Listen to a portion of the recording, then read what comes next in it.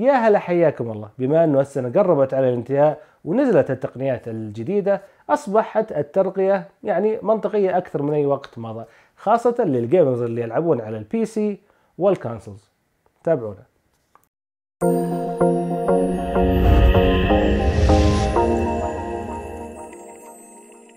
يا هلا حياكم الله. حلقة اليوم راح نلقي نظرة على شاشة BenQ اي ال 2870 يو.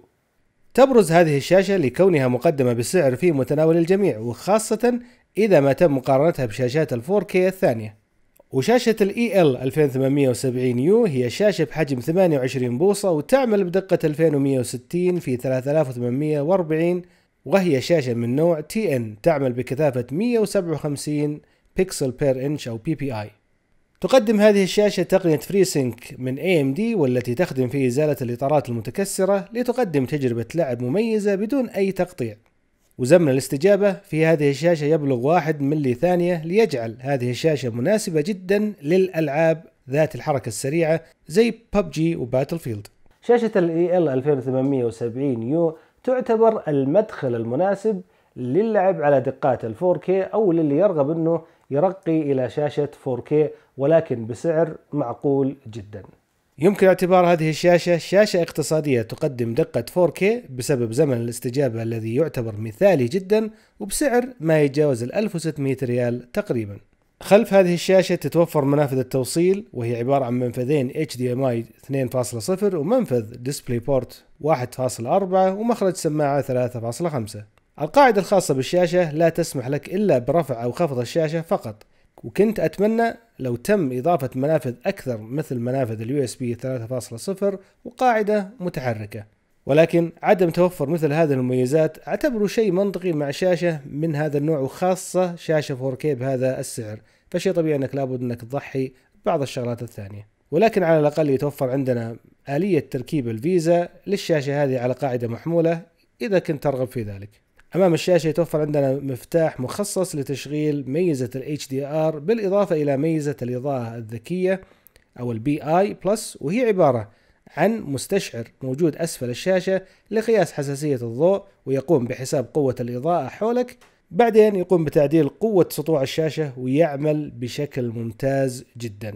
ويخلي هذه الشاشة مناسبة جدا لأصحاب الكونسولز اللي يحبوا يلعبوا في الإضاءة المنخفضة. أسفل الشاشة تتوفر مفاتيح التشغيل والتحكم وعجبني مفتاح الطاقة اللي مخلينه مميز وكبير لحاله عشان تميزه مباشرة. بقية الأزرار تظهر لك القائمة الخاصة بالشاشة والتي تعتبر قائمة قياسية كما في أغلب الشاشات. وتتوفر عندنا هنا الكثير من أنماط الألوان ولكن مجملا نعتبر الإعدادات قياسية نوعا ما وما فيها شيء يخليها متميزة عن ما هو موجود في بقية الشاشات. أسفل الشاشة يتوفر عندنا سماعتين بقدرة واحد واط لكل سماعة مدمجة في هذه الشاشة. وأشوف أن جودة الصوت اللي تقدمها.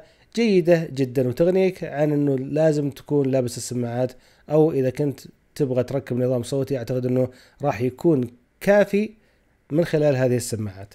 ونرجع نتكلم على المميزات وبالتحديد ميزة حماية العين من الإضاءة الزرقاء اللي توفرها هذه الشاشة. وأيضا ميزة ال HDR في هذه الشاشة جميلة جدا ولكن لا تعتبر هذه الشاشة تقدم لك HDR حقيقي. كون قوة إضاءة هذه الشاشة هي 300 نت والتي هي ليست قريبة من معيار شاشات ال HDR الحقيقي التي تبلغ ما بين 400 إلى 2000 نت. ولا يتوفر أيضا عندنا في هذه الشاشة تعتيم داخلي لقوة الإضاءة. وأيضا مجال الألوان في هذه الشاشة لا يصل إلى معدل 125% من دقة ألوان ال sRGB وهذا يعني أن الشاشة راح تكون مناسبة أكثر للألعاب على أن تكون مناسبة للمونتاج أو تصحيح الألوان. ولكن ما يتوفر في هذه الشاشة عشان يخليها تحمل شعار ال HDR هي أنها قادرة على معالجة الصورة بمعدل 10 بت. لهذا لن تكون هذه الشاشة خيارك الأول إذا كنت تبحث عن شاشة تقدم HDR حقيقي. أكثر شيء عجبني في هذه الشاشة هي ميزة إغلاق وتشغيل ال HDR حسب ما يتم عرضه في الشاشة بشكل آلي. فإذا كان المصدر عندك يقدم تقنية ال HDR ومفعلها راح يشتغل تلقائي مع هذه الشاشة وإذا كنت ما مفعله راح يتم إغلاقه تلقائيا.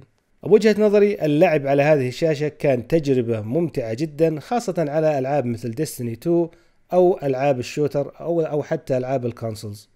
ومع هذه الشاشة مع أنها ما تقدم تجربة HDR حقيقية جودة الصورة أشوفها ممتازة جدا وتجعل من الصعب العودة إلى اللعب على دقات أقل من دقة ال 4K مجملا يتوجب أني أذكر أنه هذه الشاشة تستاهل الاقتناء إذا كنت تبحث عن شاشة 4K اقتصادية وتكون مناسبة للألعاب على ال PC وأكثر مناسبة للألعاب على أجهزة ال console زي ال PlayStation 4 Pro أو ال Xbox One X بوجهة نظري إنه هذه الشاشة ما هي مناسبة لصناع المحتوى بما أنه نوعية ال panel الخاصة فيها أو نوعية الشاشة من TN فهذا يعني إنه زوايا الرؤية ومعدل دقة الألوان راح يكون أقل فما أنصح بهذه الشاشة. أما لل gaming أنصح بهذه الشاشة وبقوة. أتمنى انه تكون نظرتنا على شاشة ال BenQ EL2870U نالت على استحسانكم.